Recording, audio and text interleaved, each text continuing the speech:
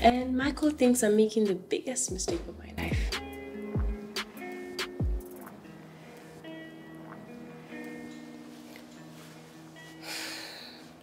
Maybe I am, but it'll be my mistake to make. You know, my mother used to say, don't be afraid to fail. Be afraid not to try. Hmm.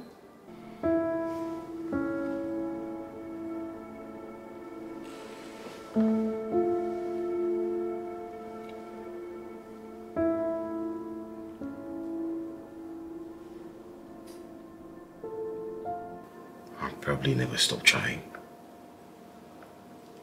But I, I respect your boundaries today. Of acting the role of Tony's stupid wife.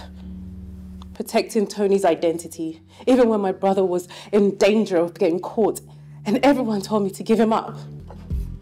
You've got to eat something. Leave me alone, David! What is this going to do? Is the food going to bring back my baby? Don't think eating is going to heal my pain. God.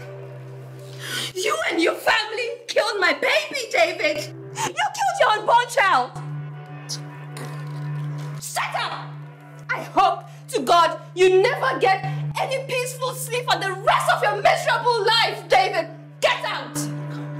Out, David. I said get out! Calm down. Get out of here! Go! Hello? Belinda, your time is up. You bring Alice to see me today or I'm telling your husband all about us. You hear me? If you think I'm playing, listen to this. So, I married David only for his money. When I have gathered enough money, you and I can live happily ever. You have two hours. Bring her or we are done. I have decided to leave everything and everyone for a fresh start somewhere else. Gosh, you look beautiful realized I've been going about this the wrong way. XM is something you really want to do and I should support you, just like you've done with everything else. No long talk, just us here in the moment.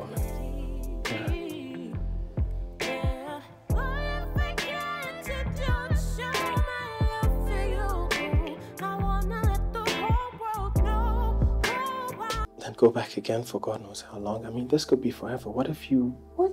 What if... What? Why don't you say it, Michael? What if you end up doing it with Patrick instead? What kind of girl do you think I am? Well, I have news for you, Patrick. You pay for your sins today. You're afraid, Patrick. You have just two choices. You take back your words and make good with her, or you face the wrath of a guy who has had enough. Go for it.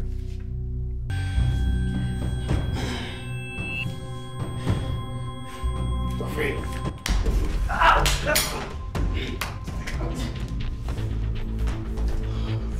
Gosh. Who are you? I told you I'm the guy wants Mrs. Sweat.